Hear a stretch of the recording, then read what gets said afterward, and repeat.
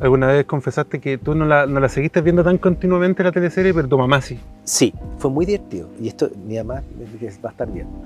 Eh, mi mamá al principio, no, esta teleserie, como que veía, mi mamá es bien... bien Yo creo que le pasa harto. Sí, como que bien fan y ve todas las cosas y, y saca por aquí, por allá, tiene revistas del año 93 guardadas, no, tiene de todo. mandar este video para Sí, que lo guarde para que, también. para que lo guarde Sí. también, ¿no es cierto? En algún Sí, momento ¿por en su no? celular, qué sé.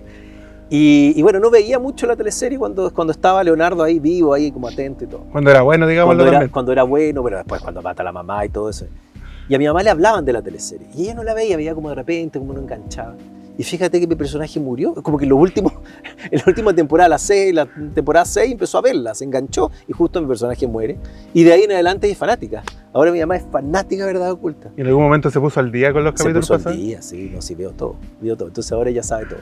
Oye, es que nombraron a Leonardo, oye, que sabe esto. Entonces ya sabe toda la historia y de repente se pierde porque no pudo verla. Y la gente también en la calle me dice, oye, hoy día no la vi. Le dije, bueno, véala por internet, pero no, no, no. La gente quiere verla en el horario y el capítulo que corresponde.